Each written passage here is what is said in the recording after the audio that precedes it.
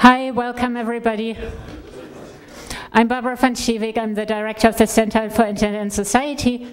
And I'm really excited that we can welcome Brett Frischmann tonight to talk about his book, Infrastructure, the Value of Shared Resources. So you might think, well, infrastructure, what does this have to do with technology? And that's a good question, and Brett will tell us all about it. But I can just promise you that whether you're interested in IP or network neutrality or telecommunications, I'm sure you'll feel something, find something in this book that will be will speak to you. And in a way, Tim Wu at some point said, you know, once I've read infrastructure, everything looks like infrastructure to me. I can't get it out of my head anymore. And so the only final thing I want to say, my friend and colleague Marvin Ammori came up with this really great comparison where he said, you know, Brett is basically the sonic youth of law professors. You may not know who sonic youth is, but if you read interviews with big artists, they all say they've been really influenced by sonic youth. And so it's very similar with Brett. Every big network neutrality proponent you talk with, whether it's Larry Lessig or Tim Wu or my own work, we have all been very much influenced by Brett's ideas about infrastructure. And so I'm really excited that he's decided to come to us and talk about this book tonight. Thanks, Brett. Um, thanks, Barbara and Elaine and all of you uh, for being here tonight. Um, it's really an honor to be back uh, at the Center for Internet and Society to talk about infrastructure and commons again. Uh, it turns out it turned turns out that about a decade ago, Larry Lessig invited me to come, and, and I was a sort of a fledgling law professor. I just started, and he, and he had me come out and talk about this, these new ideas that I've been thinking about, which was non-discrimination rules uh, for infrastructure. Um, and it starts, so in a sense, it, the, the, a lot of the ideas in the book started here in this room about 10 years ago. And so it's really, it's great to be back to talk with you about the, the final product. Um, all right, so uh, too often we take for granted the shared infrastructures that shape our lives, our relationships with each other, uh, the opportunities we enjoy, uh, the environment we share. Uh, just think for a moment about the basic supporting infrastructures that you rely on daily. Right? So some obvious examples are roads, the internet, water systems, the electric power grid. Um, in fact, there are many less obvious examples, such as our uh, shared languages, legal institutions, ideas, and even the atmosphere. We depend heavily on shared infrastructure, yet it's difficult to appreciate just how much these resources contribute to our lives. It's difficult because infrastructures are complex and the benefits provided are typically indirect. Both governments and markets struggle to adequately supply the public with the infrastructure that it needs. And the reasons are many, and I'm not going to confront them all tonight, and I don't confront them all in the book. Infrastructure resources often require substantial investment to supply, maintain, and manage, and the investment has to come from somewhere. Right? So the public has to pay one way or another raising sufficient capital to invest can be difficult. Simply put, there are a host of supply side obstacles to efficient infrastructure provisioning, and economic analysis of infrastructure tends to focus on these issues. But one critical reason, which is generally overlooked and which I confront at length in this book, is that infrastructure users, as voters and as consumers, may not adequately signal social demand for infrastructures. There are a host of demand side issues that we need to confront. So as you know, um, as you know, infrastructure is at the center of many contentious public policy debates, ranging from what to do about our crumbling roads and bridges to whether and how to protect our natural environment, to patent law reform, to spectrum allocation, to energy policy, to network neutrality regulation and the future of the internet. Frankly, the list could go on and on. Although the policy arenas may seem unrelated, all of them are to some extent the same. Each of these policy debates involves a battle to control infrastructure, to set the terms and conditions under which the public gets access, and to determine how infrastructure dependent systems evolve over time. The battle is joined in each of these areas, with some groups arguing for recourse to private property solutions, and other groups arguing that such an approach would be fatal. These groups draw on a broader intellectual debate that takes place in a number of different fields, including law, economics, political science, and increasingly science and technology. On the private control side, there's a robust economic theory in support of private ordering via markets with minimal government involvement. By contrast, on the open access side, there's a frequent call for protecting the commons, but the theoretical support for this call is underdeveloped from an economics perspective. In this book, I fill this gap and advance strong economic arguments for managing and sustaining infrastructure resources as commons. And that's what I'm going to talk about with you tonight. So, the first three parts of the book develop a general theoretical framework for examining the social value of shared infrastructure. The framework itself is not tailored to a particular type of infrastructure. Instead, it's based on functional economic analysis of the characteristics of infrastructure. And then the final three parts of the book apply that framework to many different types of infrastructure, exploring nuanced trade offs that arise in particular contexts, as well as unappreciated common issues that cut across different contexts. So here's what I plan to do today. I want to briefly provide some background to help explain why I'm talking about infrastructure and commons together. And then I'm going to focus on what's the heart of the book in, in chapters four and five, where I develop a framework for identifying infrastructural resources and then evaluating the case for commons management. And finally, I'll turn to the highly contentious network neutrality debate, make a few controversial arguments, suggest a rather strong network neutrality rule. And in Q&A, I'm happy to talk about any of the chapters sort of in the table of contents. I'm happy to talk more about net neutrality or, or other areas where you think the, the ideas might apply. So first, a little background, though. So when I say infrastructure, it generally conjures up the notion of a large-scale physical resource made by humans for public consumption. Things like highways, telephone networks, and public utilities. So I want to consider three generalizations about traditional infrastructure, these kinds of resources. The first is that the government has played and continues to play a significant and widely accepted role in ensuring the provision of many traditional infrastructure.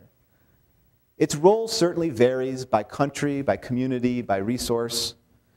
But the government's role as provider, subsidizer, coordinator, or, and or regulator of traditional infrastructure provision remains intact in most communities throughout the world. And the reason is that left alone, infrastructure markets often fail. And they fail in a variety of different ways that we want to pay attention to. All right, second basic generalization is that traditional infrastructure generally are managed as a commons. In short, the resource is accessible to all within a community regardless of who you are or what you're planning to do. Access to and use of, use of most infrastructure resources are not prioritized based on who you are or what you're planning to do, except for in very special cases, such as the narrowly defined priority given to a police officer driving down the road with her siren blaring and her lights on. Right? So I focus on non discriminatory sharing. The community for most infrastructure is the public at large. So that in some ways, this contrasts with the definition of commons that we use in the sort of the Ostrom, those of you who are familiar with Elinor Ostrom uh, literature. All right, so the third generalization is that traditional infrastructure generates significant spillovers that result in large social gains. Now, most economists and policymakers and even citizens recognize that infrastructure are important to society precisely because they give rise to large social gains above and beyond what can be captured or measured in markets. The nature of some of those gains as spillovers may explain why we take infrastructure for granted. The externalities are sufficiently difficult to observe or measure quantitatively, much less capture in economic transactions, and the benefits may be diffuse and sufficiently small in magnitude to escape the attention of the individual beneficiaries. So, one of the central objectives of the book is to explore the relationship among these three generalizations. Government markets fail in a variety of different ways, the role of commons management for infrastructural resources, and the role that it might play in generating spillovers. Okay? Uh, Carol Rose once wrote about this in a, in a, sort of a seminal article and called it the comedy of the commons, as opposed to the tragedy of the commons with which most people are familiar. Now, at times people have become confused about the thesis, believing it to be summed up by a catchphrase if infrastructure, then commons. That's what Frischmann says. It's not what I say. That's not, what the, that's not the thesis of the book, and I want to be very clear that it's just the structure of the argument. Right? It's, a, it's an organizing principle. So, chapter four focuses on infrastructure as a type of resource, a resource set. And chapter five focuses on commons management as a type of resource management strategy. Right? So, resources within the set, we want to when we have resources that are within the, within the set, we want to think about whether or not that strategy makes sense. It doesn't always make sense, sometimes it does. Okay. So, let's turn our attention to question what qualifies as infrastructure. So infrastructure resources satisfy the following three criteria. I'm going to talk about each of these in turn, but before I do, I want to make clear that the criteria work together to delineate a set of resources that are functionally infrastructural. Now, there are some resources that you might think of as infrastructure, let's say an oil reserve, are clearly outside the scope of this set. Why? Because an oil reserve is rivalrously consumed right? Every unit you consume depletes the amount available for the next person, right? Always positive marginal costs for when you're talking about consumption. So oil reserves are not infrastructure for purposes of this book. Similarly, there's a bunch of things that you might think of as clearly not infrastructure, like ideas or ecosystems or the atmosphere or law, that do in fact fall within the scope of this definition because they're infrastructural in terms of the way that we functionally relate to these resources. Okay, so the first criterion uh, helps us identify that infrastructure are either pure or impure public goods. Non rivalry over some appreciable range of demand opens the door to widespread shared access and productive use of the resource. And by those of you not familiar with the economic concepts, non rivalry refers to marginal costs of zero right? Consuming the resource does not de deplete the amount available for someone else, and so you've got a marginal cost of zero, infinite capacity to share. So really, in short, the first criterion describes the shareable nature of the infrastructure. Sharing's technologically feasible. Now, this presents an important, though often overlooked and underappreciated opportunity. Non rivalry can be leveraged for a variety of purposes. Now, the second and third criteria focus on the manner in which infrastructure creates social value. In a sense, on how non rivalry can be leveraged. So these criteria move beyond the public goods classification. In other words, we're talking about a special set of public goods. And they raise additional demand side implications. Societal demand for infrastructure's derived demand.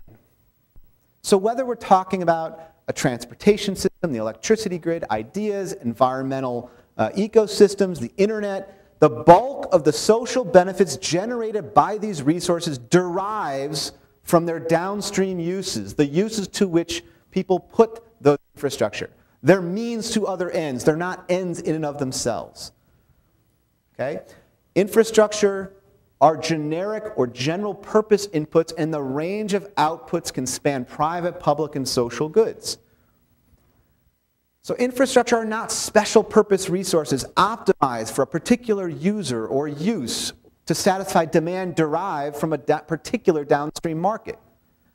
Right? So, an electricity grid, for example, delivers power to the public, supporting an incredible incredibly wide range of uses, users, markets, and technologies. It's not specially designed or optimized for a particular use, user, or downstream market. It provides non-discriminatory service for a toaster and a computer, for staples and a pizzeria, and the same can be said about the national highway system or the internet. These resources provide basic functionalities and both support and structure more complex systems of user activities, but they don't determine them. Users determine what to do with the capabilities that infrastructure provide. Genericness implies a range of capabilities, options, opportunities, and even freedoms. Users decide what roads to travel, where to go, and, what, and who to visit. Users choose their activities. They can choose to experiment or to innovate. They can decide whether and what to build. Users decide how to use their time and other complementary resources. To understand societal demand for infrastructure and how value is actually created in the real world, we need to pay much closer attention to the user activities and what it is that users produce. The third criterion emphasizes the production of public and social goods. And the reason why is that when infrastructure supports these productive activities by users, there are good reasons to question how well markets will work in assessing demand and consequently supplying the infrastructure that we need. A gap between private and social demand arises. And the reason for the gap is relatively straightforward. Infrastructure users' willingness to pay, that is this blue line, right? It reflects their private demand, the value they expect to realize upon gaining access and using the, the resource. It doesn't take into account the value that others might realize as a result of their use. That is, it doesn't account for the external effects associated with the production of public and social goods. Difficulties in measuring and appropriating value generated in output markets translates into a problem for infrastructure suppliers and consequently for the public. This demand manifestation problem can affect infrastructure allocation, design, investment, and management. Society may want, need, or depend upon infrastructure use to a substantial degree more than private demand would suggest. And this raises two sets of related social or market failure concerns. First are concerns about undersupply and underuse of the infrastructure, and, and consequently, undersupply of infrastructure dependent public and social goods. Second are concerns about dynamic shifts in the nature of the infrastructure resource over time. Now, both of these concerns can be uh, understood roughly by comparing these private and social demand curves. So, the private demand curve reflects users' willingness to pay. It effectively ranks individual uses of the infrastructure according to private value from left to right.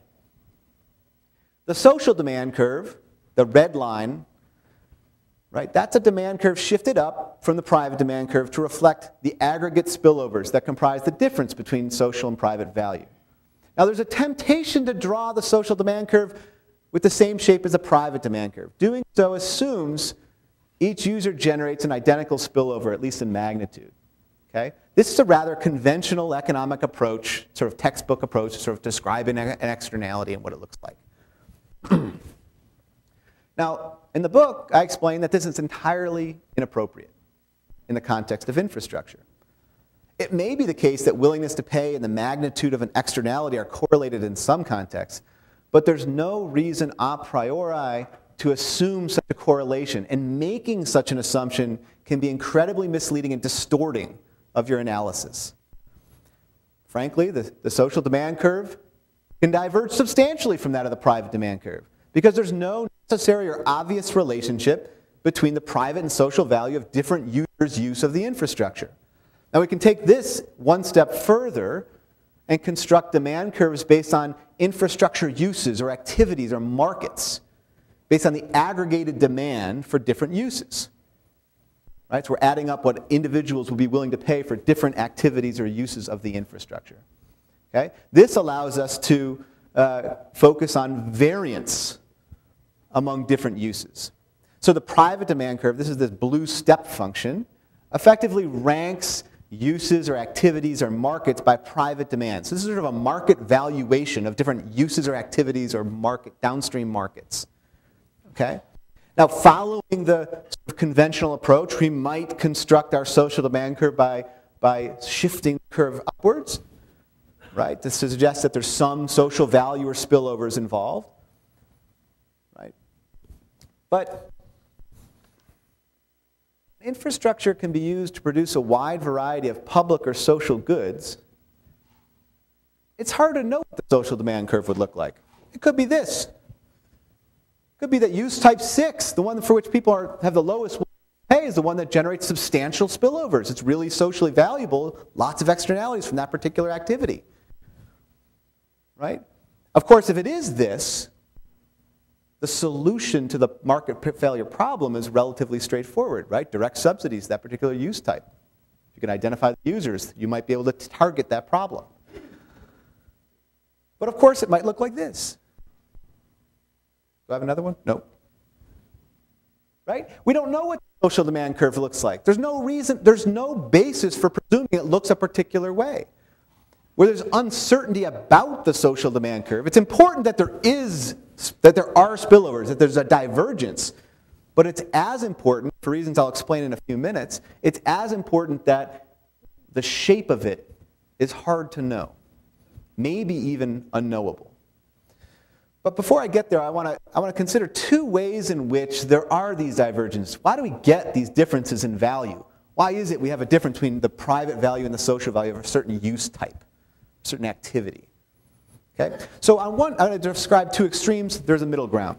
First, the amount by which social value exceeds the private value might be driven by the magnitude of the external effect generated by a particular user-generated public or social good. So there might be some infrastructure-enabled activity that generates substantial spillovers by virtue of the nature of the good produced. So think of the killer app. You all know the killer app, what that is, right? So it can be very difficult, if not impossible, to predict what the killer app's going to be, much less who's going to produce it. But when it comes along, we're all very happy that it did because it generates substantial benefits above and beyond what we would possibly have, have guessed. That's one extreme. On the other extreme, social surplus can derive from a large number of outputs that generate spillovers on a much smaller scale. It's not the magnitude of the effect from each good that gets produced that drives the analysis, but rather it's the number of people participating in the activity. Small scale externalities can add up to a significant social surplus when the activity is widespread. Okay, so I'm going to use a relative, so this is all abstract econ stuff, right? You guys, your eyes may be glazing over at this time of night. So let me try to use a relatively straightforward example that most people are familiar with. How many of you guys have seen this, this website called YouTube before? Only three people raised their hand at the Stanford Center. Okay, wait, might need a new example. Anyway, so YouTube videos, as the example I use in the book, I use it in talks because it's a pretty simple illustration of both the small scale and the killer app phenomenon I just described. Right? So many videos on YouTube are intended for incredibly small audiences. They reach a slightly larger audience. So for example, suppose I post a video of my three kids. They're incredibly cute and they're very funny singing and dancing. I might send a link to my family and friends and expect the video to be viewed by, let's say, 25 people. Right? Perhaps 100 people actually visit, watch, and enjoy the video. Right? This would generate small scale spillovers for 75 extra people, an additional little bit of benefit. YouTube might capture some of the benefits, but the benefits are irrelevant to my own decision to produce and share the video, this public good. Now, the benefits are incidental, and they might seem to all of you like small potatoes. But they add up considerably when millions of people participate in this activity on a regular, pace, on a regular basis. A lot of small potatoes being produced by millions of people on a regular basis is a lot of potatoes. Now, every once in a while, user-generated video attracts millions of viewers and becomes a cultural phenomenon. I'm going to use a dated example. You can substitute any more recent example that you like. How many of you have seen the Howard Davies-Carr Charlie Bit My Finger Again video? Only, okay, you should watch, this is funny. So there is a site called YouTube, which you should all check out. Only three of you raised your hands before. And those of you who haven't seen this video, go check it out. It's pretty funny. Um, so uh, this is the example that I like to use. The video is intended for one person, the boy's godfather, who lived in the United States. So he takes a, he takes a video of his, of his kids in the, in the UK, posts the video intended for one person. Unexpectedly, it goes viral. And it's been, it's been visited hundreds of millions of times. It's generated all kinds of social co uh, commentary and engagement back and forth. People talking about the video. A lot of people like it. Some people don't like it. That one video generated enormous spillover, social value above and beyond what the poster possibly could have anticipated or is capable of appropriating. All right, so we've got these two examples, two extremes. Now, critically, neither the government nor the market would have selected or provided the, the support for either ex ante. yet we're you know, kind of happy that we, we got both. And there, you, again, you can substitute examples of your own. The bottom line is that an open video sharing platform provides users with a basic capability. It keeps social options open. When users choose to exercise that capability, they presumably do so because it sufficiently satisfies their own self interest. And heck, they also, incidentally, generate spillovers because they've shared a public good. Hey, it's a win win for society. We should look for win wins whenever we can, right? So I've described two extremes. There's a middle ground as well. My, my point is just to illustrate different ways that values, in fact, created on these platforms or on these infrastructures. And I also want to make clear that YouTube itself is just one of many, many examples that you can find online. Read Barbara's book or Benkler's book or someone else's book if you want a bunch others, or read my book. But there's also tons offline. It's not this uniquely internet phenomenon, the idea that basic capabilities provided by open, non-discriminatory infrastructure let people do lots of different things that generate value for others. In fact, it's a regular phenomenon. Okay, now of course, economists have long, I should have, had, I should have a different slide, I should have that one with the little green bump. Because economists have long recognized there's a case for subsidizing public goods producers because the market undersupplies these goods. So if we knew the curve was that green curve, we knew there's a lot of value from use type 6, we might direct subsidies towards it. Right? But that, that approach to dealing with public goods and social goods problems often fails for a variety of reasons. Government has to assess demand, they've got to figure out which public and social goods are worth supporting, they've got to figure out which of the many producers they got to subsidize. In many cases, it might be better to focus on infrastructure as an indirect means of supporting public and social goods producers. Now, there are, so there are a bunch of demand side concerns. In that sense, there's also concerns about private infrastructure, how private infrastructure providers will manage the infrastructure over time, its evolution. So to the extent that infrastructure can be optimized or prioritized by design for particular applications, which is often the case, there's a risk that infrastructure suppliers will favor applications that generate more readily appropriable benefits, things they can capture. Now, the bias towards infrastructure uses that generate appropriate value is a direct, predictable, uh, and quite natural consequence of the ordinary operation of the market system. To be clear, this is a feature, not a bug of the market system. To be, uh, uh we expect, encourage, and encourage firms and entrepreneurs and other market participants to behave in this fashion. It's not wrong. They're just pursuing what we hope they pursue in markets. When feasible, firms will manage infrastructure evolution through prioritization of investments, design choices, access to various user communities, and so on. And they're going to do so to maximize expected value to the firm and its shareholders, not to society. Now, whether or not this basic fact should lead you to conclude it's a societal problem worthy of attention or government intervention is a completely different matter, the evaluation of which depends upon the infrastructure, the context, and a variety of other considerations. But you should recognize that the bias exists. Now, does this matter? I want to go back to this just for a second. Why does this matter? Why does the fact that we have different demand curves, that not only that we have spillers, but that where they're going to come from and what they're going to be is often unknown, if not, it may even be unknowable? Well, it makes it very hard to, to directly tar target the market failure problem right? So if we start out with infrastructure that has this potential, we worry that both statically and dynamically, right, that we're going to end up with allocation and design of the infrastructure that turns it into commercial infrastructure, it's optimized or it's being allocated or prioritized for a narrower range of outputs, or even becomes a special purpose input. There are static and dynamic market failures that are driven by the demand side concerns. They're not. This is, this is important for net neutrality, it's important for a lot of different things. They're not mitigated by competition. They're not mitigated by making prioritization a user choice. Why? Both competition and user decisions about prioritization are, are dependent upon private demand. That's no different than saying we want to allocate and design and make investment based on that blue, those blue lines, the private demand curve. They don't solve the problem. Doesn't mean that the problem requires intervention. That's a tough issue to, to confront, depends on the context.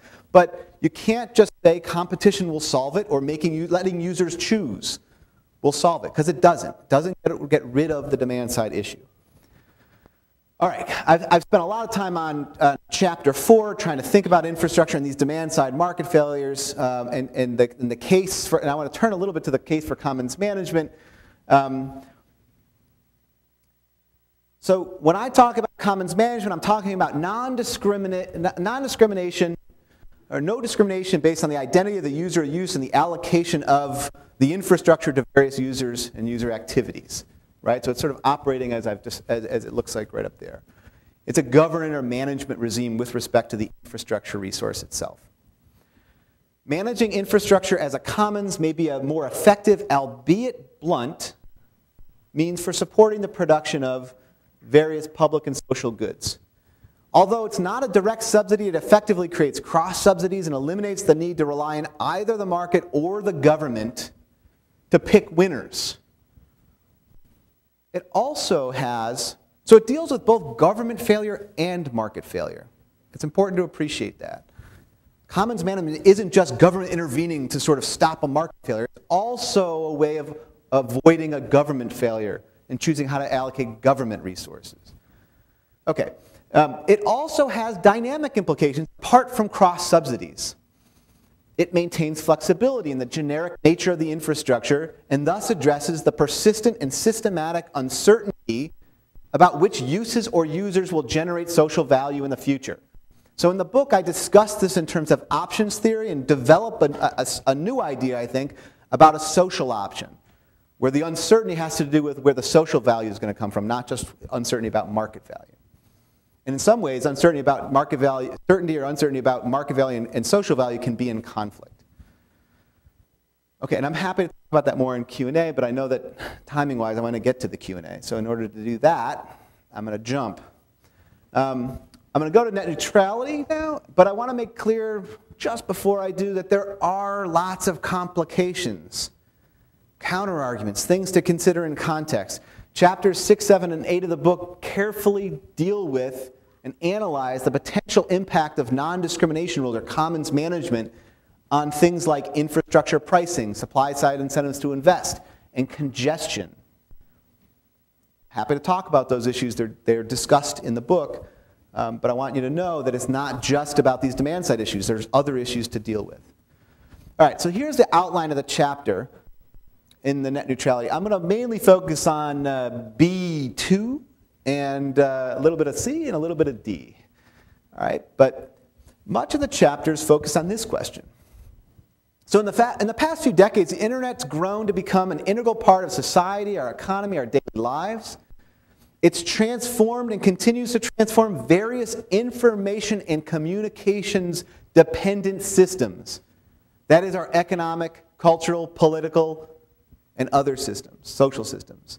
So consider how the internet provides and shapes the opportunities of individuals, firms, households, governments, and other organizations to interact with each other and participate in various social systems. The scale and scope of possible and actual social interactions alone is staggering.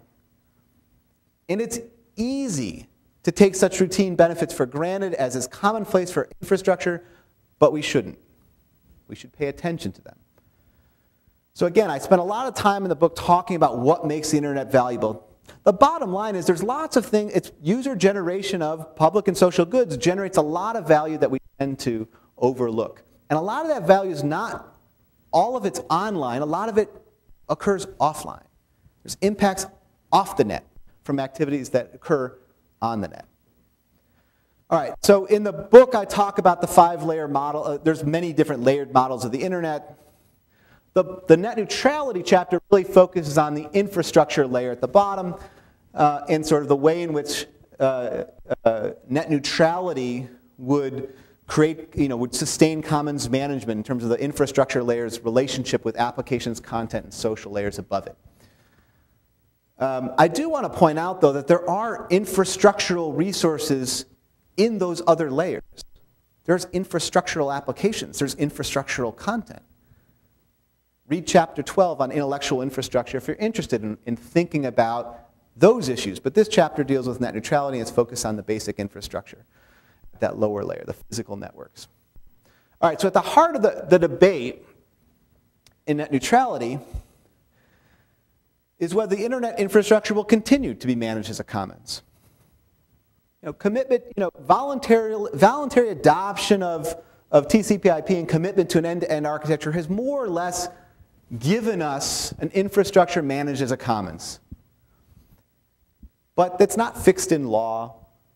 Things are changing. Technology and business practice are changing and challenging whether or not that would remain uh, intact.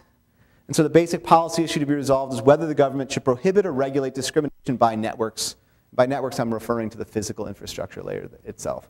In the book, I propose a rather stringent rule that government should prohibit discrimination based on the identity of the user or use. And I'll get to that in a minute. But first, I want to say a little bit about um, a few ways in which I think the debate is completely distorted. The policy debate that takes place in DC, takes place in the press, takes place in the academic literature, is distorted. It's misframed. And in the book, I'd make the claim that infrastructure theory can help reframe it properly. But let me tell you how it's misframed. So, antitrust and regulatory economics misframes the debate. Antitrust and regulatory economics suggests that government interventions only needed when markets are not competitive, and that even when markets are competitive, interventions only justified in very narrow circumstances when demonstrable harm to consumers uh, uh, can be shown and not outweighed by efficiency gains. The focus on competition and demonstrable harm to consumers is completely misguided I love competition. I don't like harming consumers, don't get me wrong. But those aren't the basis, that, that's not the argument about why we, we need or want net neutrality. It distorts the debate dramatically and distracts participants from the more important fundamental question, which is what type of internet environment our society demands. So I, I, highlight three ways in which the debate's distorted, and they're related to each other. The first is that the antitrust and regulatory economics framework views the internet as a mere supply chain, just a series of markets supplying something to the next market until you reach this end consumer, which is all of us. More sophisticated version of the supply chain view incorporates so-called two-sided markets, where economists put networks in between application and content providers on one hand and consumers on the other, and they consider whether networks can efficiently mediate transactions between one side and the other. But one way or another, an incredibly complex open system is reduced to an inappropriately simple closed system for purposes of analysis, evaluation, and policymaking. These views assume away incomplete and missing markets associated with public and social goods. Despite their prevalence in the actual internet environment we experience, the internet simply is not a supply chain or cannot be reduced to a two-sided market without uh, obscuring what's actually most important about the internet. Second, antitrust and regulatory economic framework leads to a misconception of the relevant actors and their involvement. It creates a false distinction between application and content providers and then other end users or consumers. But users produce a wide variety of private, public, and social goods. They produce, including various applications and content. Here, I'll be controversial. Google is just an end user, like you, me, or anyone else. Now, we're different in some ways, for example, in the amount of traffic and revenue we currently generate, but not necessarily in a way that matters or ought to matter to the net neutrality debate. I, you, or anyone else could be the next Google, and that's a desirable feature of the internet. Finally, I think the debate's fixated on this what I call a competition red herring. To cut to the chase, even if we assume we have robust competition in infra infrastructure markets, I don't really believe it, but anyway, just assume it. Doesn't matter. The case for net neutrality remains quite strong. Competition alone does not alleviate any of the demand side concerns. It doesn't assure us of an efficient allocation of resources. It doesn't assure us of an internet environment that maximizes social welfare. Competition doesn't address these interests for essentially the same reason that antitrust law is orthogonal to environmental law. Anti Antitrust law doesn't address market failures associated with externalities, whether they're environmental pollution, that is, negative externalities, or the production, sharing, and productive reuse of public and social goods, that is, positive externalities.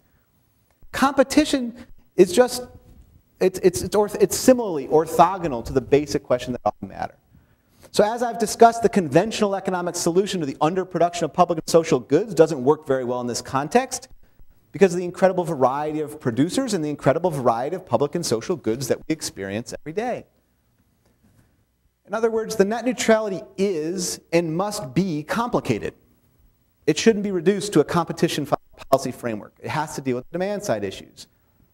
Now, the internet enables the production of a wide variety of private, public, and social goods. Certainly, the supply chain view of the internet captures the commercial nature of the internet the generation and transaction generation of private goods and transactions regarding private goods. And without a doubt, the value of the internet as a commercial infrastructure is immense. But I would argue the value of the internet as a public and social infrastructure dwarfs its value as commercial infrastructure. I recognize it's incredibly difficult to substantiate such a crazy claim with empirical data that purports to measure value, but frankly, I think that's a problem with our current tools for measuring value. Consider again what makes the internet valuable to society. It's tied to the range of capabilities provided to individuals, firms, households, governments, and so on. Commerce, community, culture, education, government, health, politics, science. These are all information and communications intensive systems the internet's transforming, and the transformation is taking place at the ends where people are empowered to participate and they're engaged in valuable, productive activities. So in the book, I provide an extensive discussion of these activities and talk about the wide range of public and social goods. I want you to appreciate that the transformative aspects and the spillovers occur online and offline.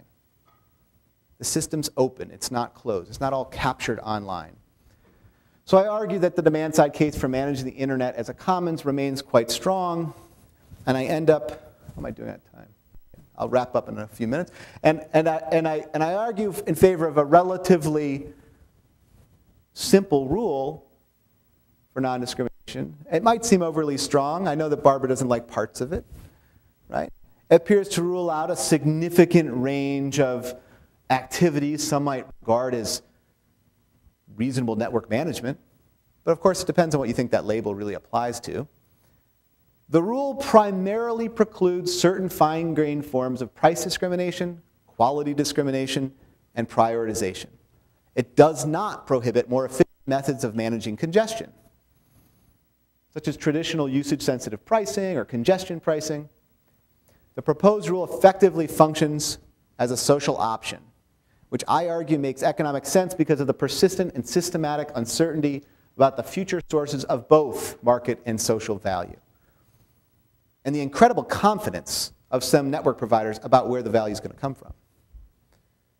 Disabling identity based price discrimination is not necessarily costless, but you should not assume it to be costly either, despite, claims made in the debate.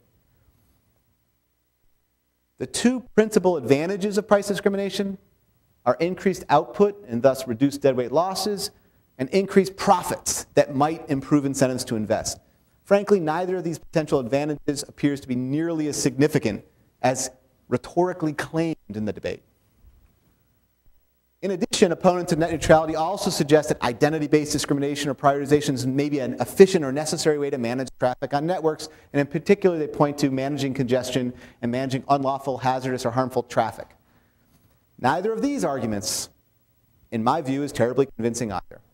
There are plenty of effective means for dealing with congestion that don't involve discrimination or prioritization, and perversely, permitting discrimination may encourage infrastructure owners to maintain a state of persistent congestion.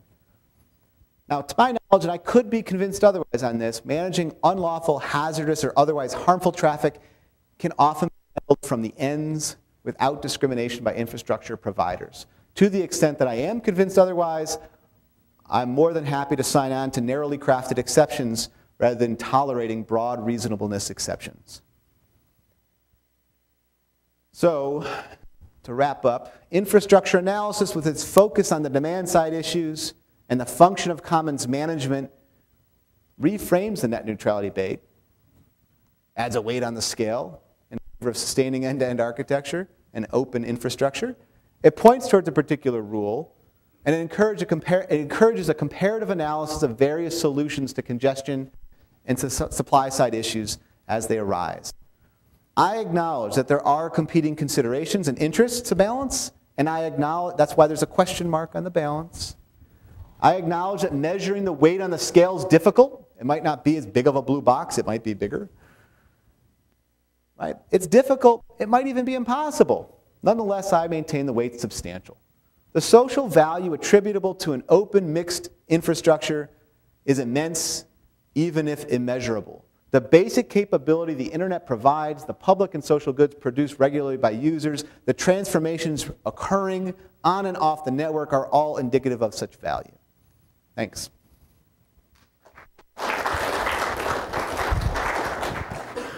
Hi, just wanted to say thanks. And also, um, just a basic clarification question. Sure. I wonder if you could elaborate more on exactly what you're picturing when you say social option.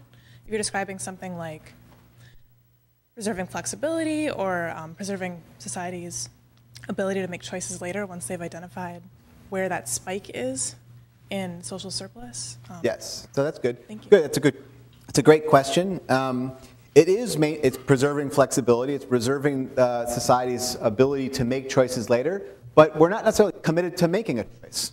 Right? It may very well be the case that, it's, that we don't end up knowing what the curve looks like and we maintain a, you know, the state of, we maintain the optional, uh, you know, over the long run. Um, of course, if we find out that, you know, that we want to prioritize or optimize on good information, then we, we can. Uh, the idea behind the social option, so the normal option theory, the way of thinking about option theory is normally focused on the market valuation. So if I'm a firm, I'm deciding whether or not to specialize on a product or a platform that I'm developing, um, uh, or uh, the, to the extent that I'm uncertain about which future direction to go, right, there's value in maintaining that flexibility. Um, but there's the, the argument about a social option sort of just takes that same theory and says, well, we might also, from a societal perspective, not know, um, we might be very confident about what the future market value will be. We may very well know that uh, video on demand is the this is at least what people think, I, I, some people think in the industry. We might think video on demand, that is the future source of value, market value. Let's optimize, right? So the option theory focuses on that market value. It may lead you to think it's time to optimize. We actually have, we've reduced uncertainty. We kind of know where the money is, where the profits are going to be made, what's going to generate the most consumer welfare. But the social option theory is to say, well, to the extent that, it, that I'm right, that there are some uses that generate spillovers that aren't captured in markets, in other words, there's missing markets or there's incomplete markets that are at stake, right? We may have, we may be very uncertain about where the social value is, but very certain about the market value, in which case private infrastructure owners are going to have an incentive to optimize prematurely from a societal perspective, although from a private perspective it makes perfect sense to optimize. Does that make sense? Okay, so that's the idea. Two parts. Uh, first is you say you don't like to differentiate between different uses. Now, on the internet, it seems to me that I'd prefer to have a doctor who's running a surgery at the other end of the internet have a higher priority than uh, the see who bites my finger. Are you just saying that magically we have so much internet uh, capability that this isn't a bother? And secondly, which is related to that, if we don't rate it on business on the real market, how do we decide to quadruple the internet bandwidth as opposed to building 15 better or refurbishing 15 bridges? How do we make these decisions if you're just telling us there's a magic social good out there, which I believe, but I don't know how to deal with it? Right. Um, if I knew the right spell, I would, I would rely on the magic response, but I, I, I don't. It's not magic. Um, both are both good questions. So it's true that there may be applications out there for that uh, are uh, on a non-discrimination regime uh, would be better off if you could in fact prioritize traffic, right? Um, uh, so there's a cost to non-discrimination. Absolutely, right? You may be reducing incentives to innovate for some kinds of application that would be better off there prioritize. Um,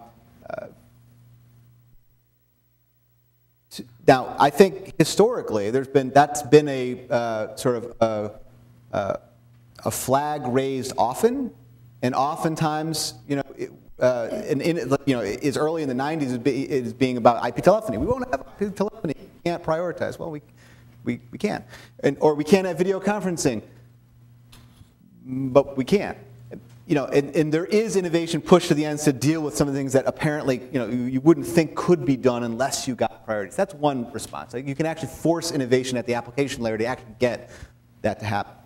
To the extent that you can't, you can also do that it, not over the internet. Right? You don't have to have the internet be the, the backbone for all communication across society. So to the extent that there is a ton of demand for high-end medical services that can only be done remotely, that you need in real time, and for which you can't get adequate service because the risk of congestion would throw it all off. So you need prioritization, It needs to be perfect, a certain level of quality of service. Um, to the extent that those applications have that much demand, right, it may be that you, you do that on private networks rather than going over the public internet. Right, so that's one part of the response. The second question is great. Right? The second question is, um, if, I, if I was getting it right, which is uh, how do we decide in terms of a portfolio of infrastructure investments, which infrastructure investments to make, given that, now, I don't think the market tells us a good, gives us a good answer either. Basing it on the market valuation doesn't tell us exactly, it doesn't guarantee us that we're getting the best investments in terms of infrastructure investment. In fact, it leads us, skews us in one, you know, pretty heavily in one direction. Your response is, okay, if we understand that there are some infrastructures that generate large spillovers, and, but how do we choose among them?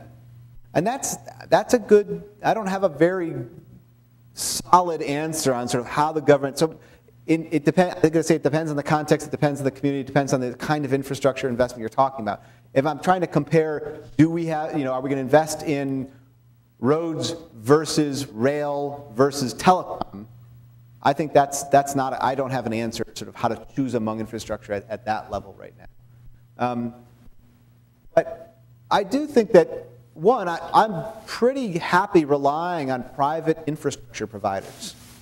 My, my position is not that on the, so I'm dealing with the demand side. My position is not that on the supply side, we should turn it all over to, we should turn it all over to government. Every government has to provide all infrastructure directly because we can't rely on private markets to supply this. I don't think that's true. I think there's lots of infrastructure that can be privately provided subject to a common carriage or a non-discrimination rule, and there still are profits to be made, and people, there are still, it's still a worthwhile investment, right? It's not clear to me that incentives to invest in infrastructure are undermined in the vast majority of contexts by having a non-discrimination rule. That's one. I mean, so I think where there's private, where there's demand in private markets to build infrastructure, then you can rely on private, private actors to build it. I think to the extent that you've got demonstrable shortage of interest in building out infrastructure, then the case is made for, a there's a bunch of different ways the government can in intervene to deal with supply side problems. One way is to provide it directly, municipal entry into broadband, uh, but it, it, building roads. Another way to do it is to invest directly in the R&D that lowers the cost of entry, which we do all the time, but we kind of forget that that's what we're doing. Right? Much of the privately built infrastructure rides on massive public investments in the technologies that allow it to be built in the first place. Um, we could also give tax incentives if we want to sort of leverage ta the tax system for investments in certain. There's a lot of different ways we can go about it. So I mean, uh, but that's a great, it's a great. How do we choose among the portfolio of investments is a really tricky question. I don't have a, I don't have a solid answer for right now. But I don't think it's magic. That's all. Uh, as I stand here, thank you, by the way. As I stand here, I think you may have answered um, some element of my question. Um, I, I was um, harkening back to the example you gave with uh, YouTube and the uh, the social value that's created and sort of the unexpected social value by hundreds of thousands of views as opposed to the expected uh, perhaps one or 25.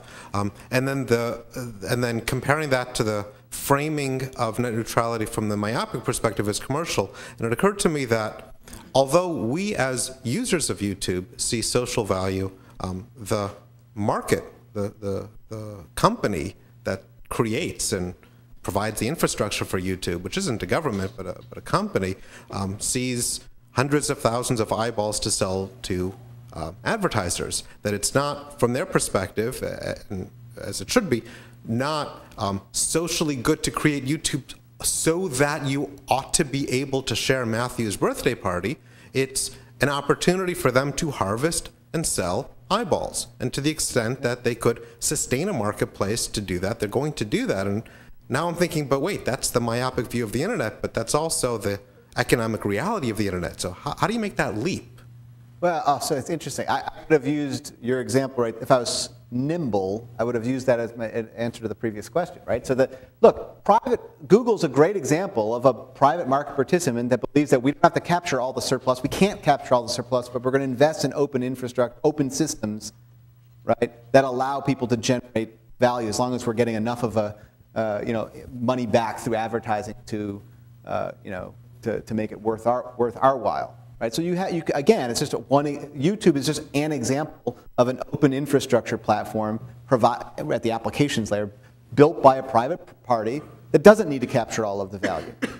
Um, I don't think it, I don't, I was a little bit confused by the question about it, why that's the myopic view. I don't think it's the, the myopic view I was talking about is the antitrust and regulatory economics framework says, leads us to think about um, the net neutrality debate in particular, think about these issues as let's just rely on, if, if we have competition, we've got nothing to worry about because consumers will, get what we want through competitive markets.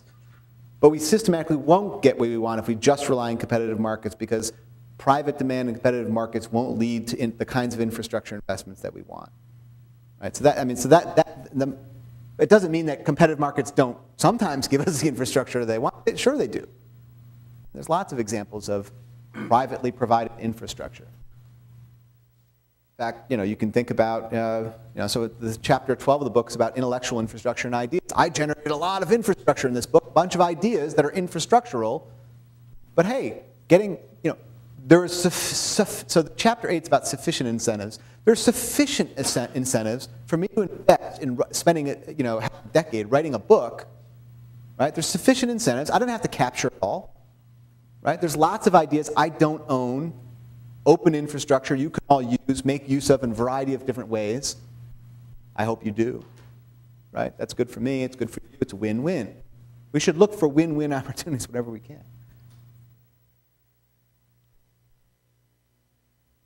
Uh, there's increasing inequality income-wise, and there's a digital divide. Uh, if that trend continues, what are the implications for quality of public infrastructure and, and the support for public infrastructure. Say, say again, part of it, public, you said part pu of the... Public support, uh, support in general for public infrastructure, and is there going to be unequal, unequal access to quality infrastructure, whether it's physical or virtual? Right, so one way in which infrastructure, so I had mentioned like the one way you can prioritize infrastructure investments based on user communities. Right? There are some communities that aren't worth investing in. So, I mean, one way of thinking about equality of infrastructure, you know, equality of access to various infrastructures, or there's insufficient investment in certain communities, is that the, the private market doesn't see those opportunities as worthwhile investments. Um, and so eh, that triggers, in my mind, sort of just a, one of the, that takes us into the supply side. It, it's demand driven in the sense that there's not sufficient demand to make the investment worthwhile from a market perspective. Um, and it leads you to some, some, of the classic supply side problems. How do we deal with it from the supply side? But yeah, I, I agree. I mean, I think uh, to the, uh, so one, one thing you guys might like about this book, but it's something that's in there that connects with your point, is that um, I try to make the case that equality, the sort of broad public capabilities are valuable not just for justice, equity, or fairness reasons, but also for efficiency reasons. We're all better off when more people are in fact capable of being productive. Whether or not they choose to exercise that capability is a different question. But um, so there's actually positive welfare gains to, uh, to, in making those kinds of investments to make access more equal. It's not just a fairness, but yeah, I think it's both.